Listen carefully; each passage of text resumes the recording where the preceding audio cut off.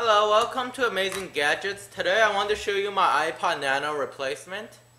As you know, quite a while back, Apple has recalled the first generation iPod Nanos due to the batteries catching on fire. So they recalled the first generation iPod Nanos and apparently I of the lucky owners who had one. So I sent it in, it was free of charge. They replaced my original iPod Nano oh with one of these 6th generation ones. The color is random. I got a silver one.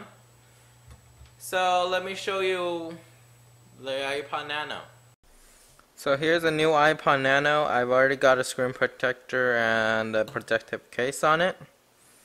My old first generation Nano was actually a 4 gig model. This is actually an 8 gig because they don't have 4 gigs for the new 6th generation ones. So anyways.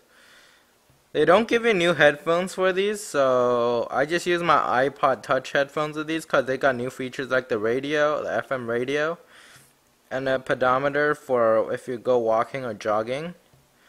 I have to admit, um, this is kind of small, and some people are complaining because it's harder to handle than the first generation.